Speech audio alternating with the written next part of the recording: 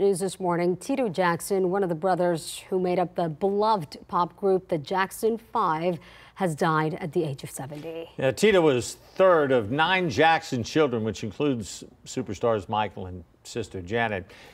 Tito's sons announced their father's death late Sunday in a post on Instagram. The Jackson Five included brothers Jackie, Tito, Jermaine, Marlon, and Michael.